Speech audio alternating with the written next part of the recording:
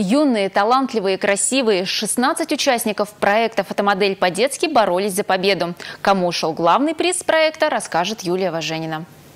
Ровно 105 дней, а это три с половиной месяца, эти дети посещали мастер-классы, учились ходить по подиуму, пробовали себя на различных фотосессиях.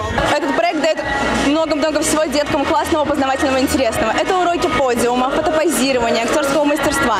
Они не боятся сцены. И если сравнивать пришли на кастинг, какие они сейчас, они очень сильно выросли. Они, в принципе, ничего не боятся.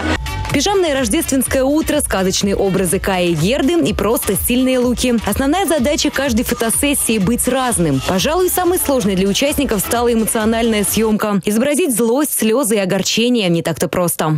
Самое сложное было это, когда мы были с эмоциями. Надо было либо плакать, либо злиться. Не в обычном стиле улыбаться там. А, как бы здесь очень много чему учат.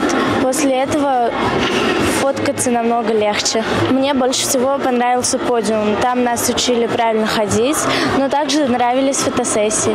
Ходить по подиуму – любимое занятие и у Ильи Фирсова. Двигаться как модель у него уже вошло в привычку. Меня куда-то позвали, я, я иду всегда как модель. Мальчиков модели очень мало, поэтому очень большой шанс стать известной моделью. Участвовать в проекте очень классно. Грустно будет его, конечно, покинуть. И главное выиграть.